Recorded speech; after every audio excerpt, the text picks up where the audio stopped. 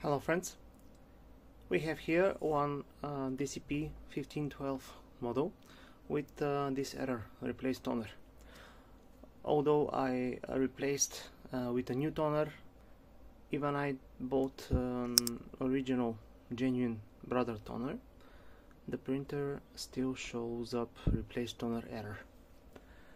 In this video I will show you how to fix this error press menu. Then with the arrows go to machine info.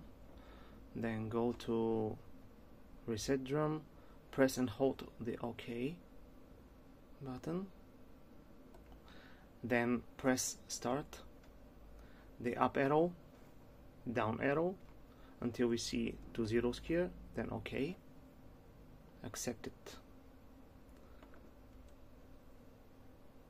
and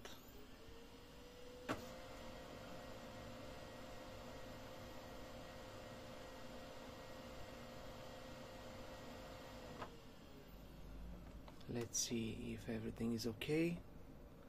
We will print uh, user settings page.